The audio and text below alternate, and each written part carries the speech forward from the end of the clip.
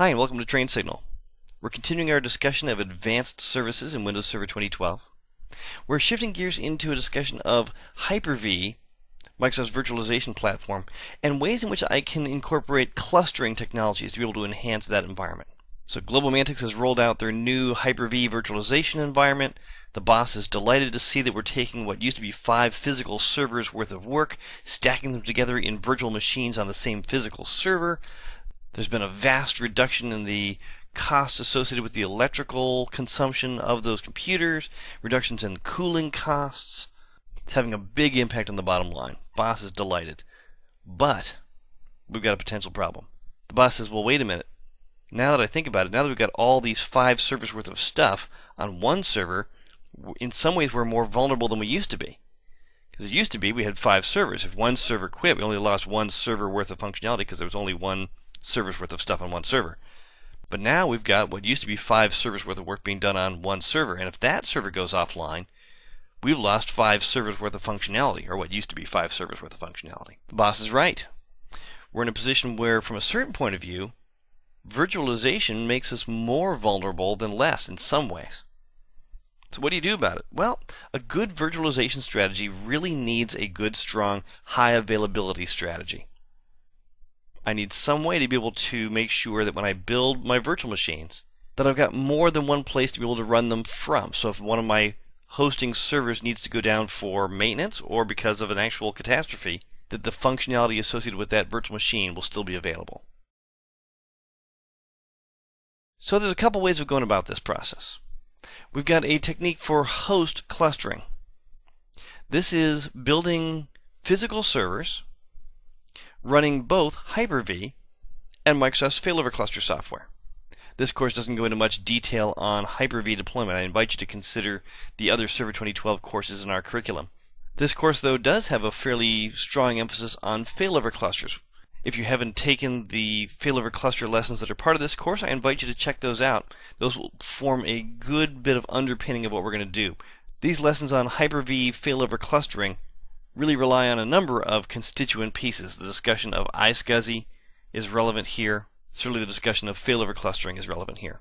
That being said, a host clustered environment is one in which we've got servers that are both running Hyper-V and the failover clustering software together on the same box. The failover cluster clusters together a group of physical servers, as few as two, as many as 32 in Server 2012. And in that circumstance, our virtual machines are the highly available resource that fails over from one failover cluster node to the other, which is to say one Hyper-V server to another. The failover cluster software monitors the virtual machine, and if the VM hits a problem, it fails over to the other failover cluster node, and suddenly it's running from over there instead. A second approach to clustering that takes advantage of failover clustering software is a technique in which virtual machines on one server are clustered together using failover clustering. In which case, what's being passed around within that cluster is the actual applications running on those virtual machines. So an application can fail over from one VM to another VM. If one VM goes down, the other VM can pick up the slack and perform whatever the functions are of that server. It's worth noting that a hybrid variation on that theme is to do host clustering of physical Hyper-V servers, and then to be able to use guest clustering within that host clustered environment to cluster together some of the VMs that lie inside of that host clustered environment to be able to allow the applications running on those VMs to fail over from one to the other. A third approach uses the network load balancing technology. Network load balancing, again, is the focus of another lesson in this same course. NLB allows us to be able to route a request to a group of servers. That request hits all the servers in that group simultaneously, and through the magic of the network load balancing algorithm, one of those computers is going to respond to that request. NLB is a great choice for applications that involve maybe a front end web server that front end some other database driven application. Where the front end application doesn't preserve state, it's just a conduit to access information on the back end, in which case it doesn't really matter exactly which server responds because any one of them is going to answer identically to any other. As long as that's the case, NLB is a fine solution. If the server we're going to connect to is going to store some information locally on that computer, such that next time that user connects and they really need to get back to that same data, NLB might not be the best choice. But that being said, assuming that that's the case, I can network load balance a group of virtual machines. Build a set of VMs, build them together into a network load balancing cluster, and I get the nice scalability benefits of NLB, allowing a large quantity of incoming requests to be divvied up among a large number of virtual computers. So no one computer gets overwhelmed with all that traffic. If we're going to be doing clustering of virtual machines in a Hyper-V, probably a Hyper-V slash failover cluster environment, there's a number of technologies we need to make sure are working in order to be able to take advantage of that fully.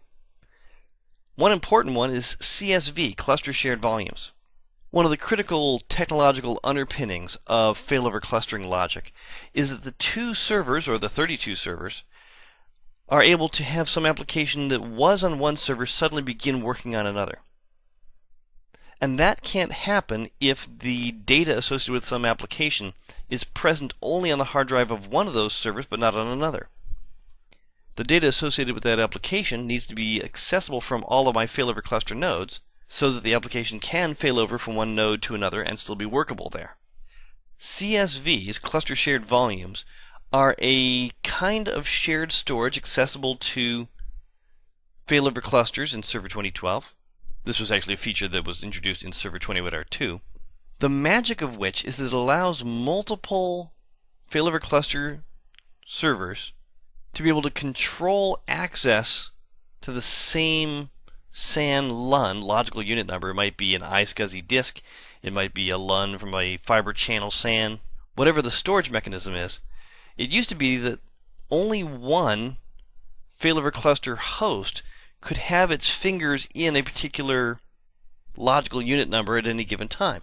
And because that was the case, I couldn't really sensibly put two virtual machines in the same LUN, the same logical unit number, because if those two VMs needed to roam to two different failover cluster nodes, only one of those two failover cluster nodes could control the LUN that the virtual machine sat in.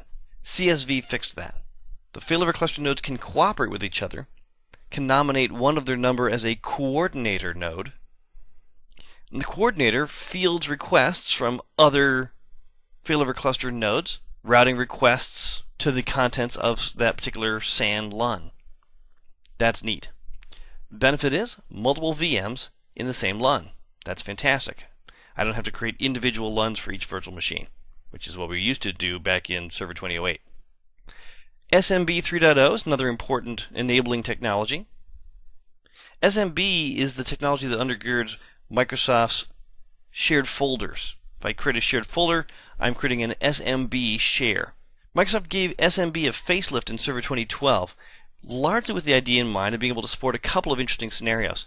One is something called a scale out file server, where I can have multiple file servers in a failover cluster where they are acting in a kind of a load balancing sort of a scenario, kind of like NLB. That's very different from what we usually do with failover cluster. Usually a, a role runs on exactly one of the servers in our failover cluster and can roam to other servers as need be. In a scale out file server scenario, we've got multiple failover cluster servers, each of which are providing access to the same set of files. SMB 3.0 supports that. And SMB3 supports the use of virtual machines whose files live not in shared SAN storage in the failover cluster, but instead on just a shared folder on some other server in my network.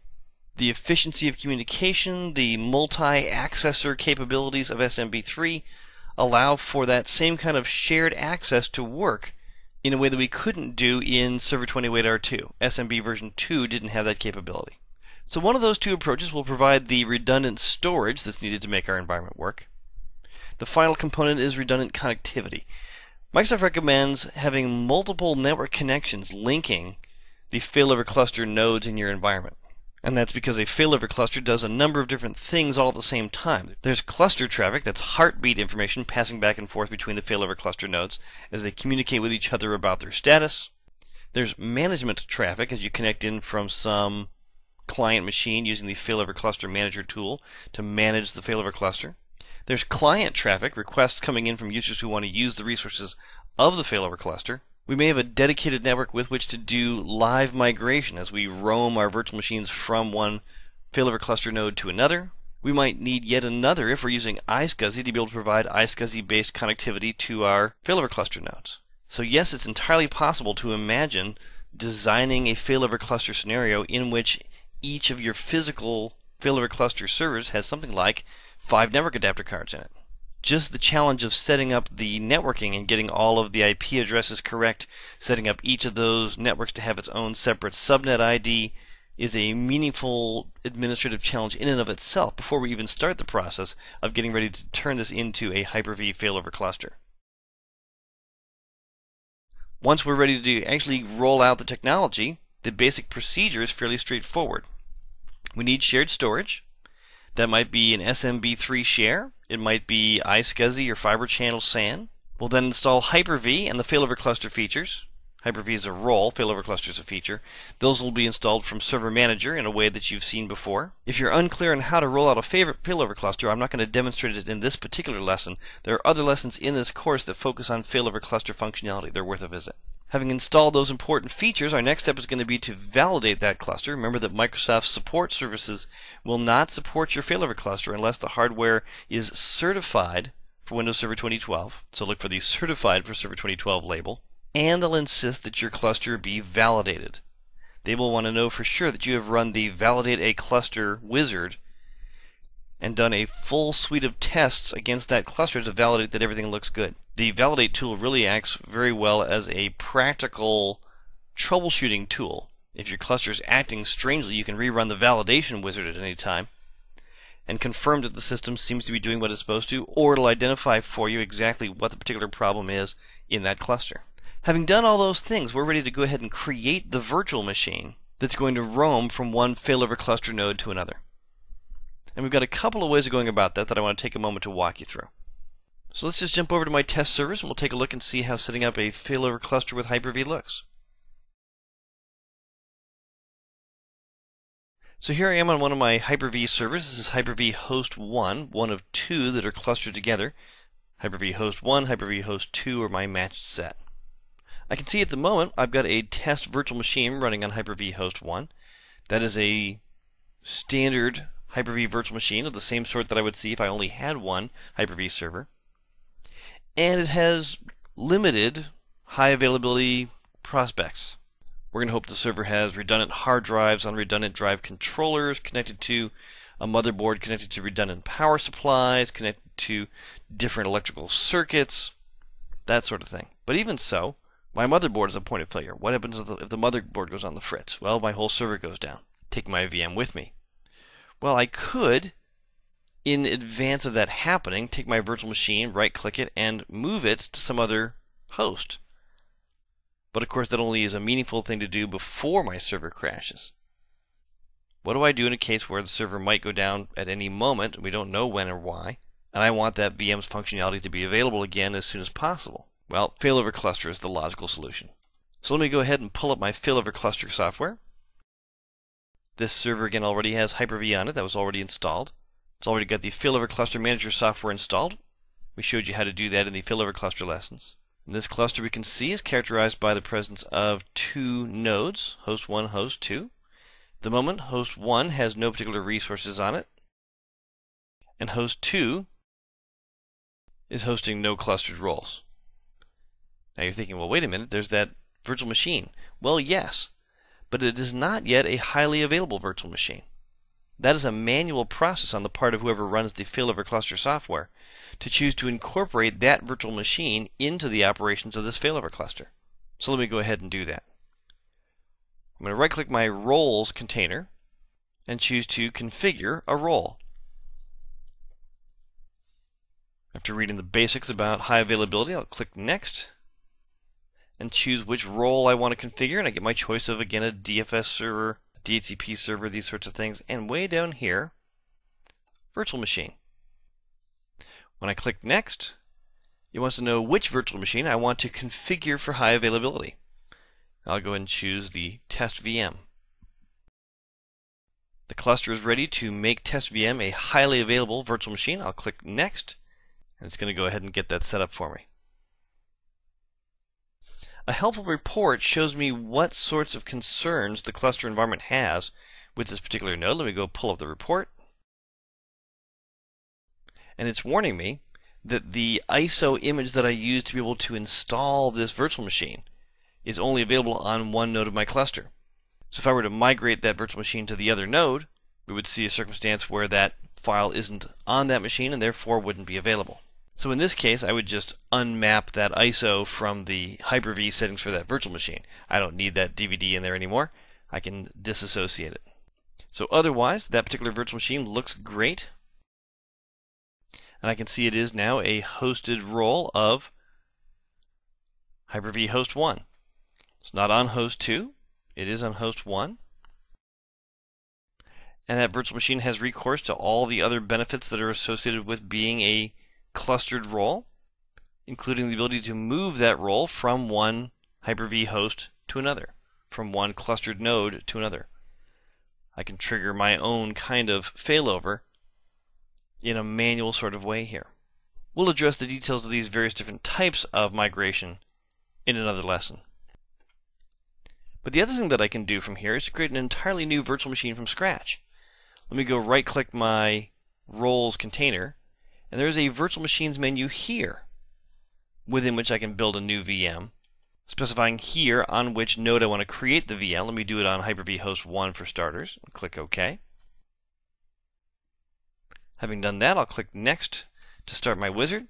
Needs a name for that virtual machine. Cluster demo. And it wants to know where I want to store my VM. Now by default, it's offering C slash program data Microsoft Windows Hyper-V. Very traditional place to put virtual machine information. In this case, though, I don't want this to be in just any old folder of this server because I want it to be able to roam to the other servers in this cluster. And that's only going to work if that data is in someplace accessible from all those servers, and that location is going to be my CSV. Let me cancel out of my wizard for just a moment to point out that my storage environment does contain a set of disks. I've got a small Quorum disk of a gigabyte in size. I probably could have gotten away with something as small as 512, but I like the nice round number. So that is a Quorum disk. It's part of my node and disk majority Quorum strategy. And I've got two CSV LUNs available here. These are coming off of iSCSI, off of the domain controller in this particular environment. Got a 40 gig disk and a 30 gig disk. So it'd be on those locations that I would really like to put my data. So where do those live? I can actually see down here that that volume, that disk, is actually associated with C slash cluster storage slash volume 1. This one slash volume 2. It is those paths that I can use to specify where I want to put my new virtual machines files. So let me do just exactly that. I'm going to again right click roles, start the process of building a new virtual machine.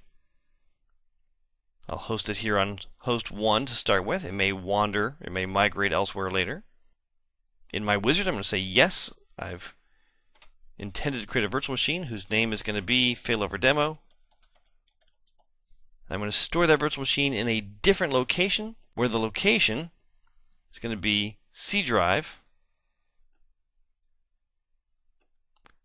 cluster storage, and there's volume 1, volume 2. I can see volume 1 has my test VMs directory. Volume 2's got some other virtual machine data. Volume 2 looks like a good choice. Let me use that. Clicking next, I get my choice of how much startup RAM. Let me throw a gigabyte of memory at this. Do I want to support dynamic memory, which is a wonderful feature? Virtual machines in Hyper-V and Server 2012 can exhibit dynamic memory behavior where I can specify a specific startup RAM allocation for that server.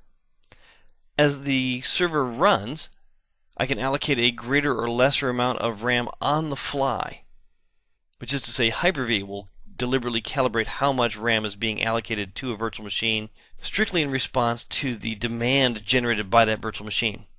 If that computer is quiet, it's not doing a lot of work, we'll back off on the amount of RAM that it's consuming. If it gets terribly busy, it needs a lot of RAM, we will bump up the amount of RAM we allocate to it.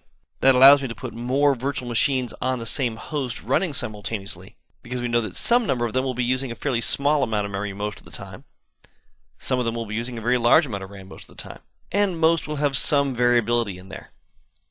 But by being able to economize on the use of RAM for servers that don't need them at a given moment, that frees up precious resources that I can use on more servers. Dynamic memory is a great choice. Clicking Next, we specify which virtual switch I want to attach my virtual machine to. Ethernet's a good choice. So it's offering me the option to create a new virtual hard disk.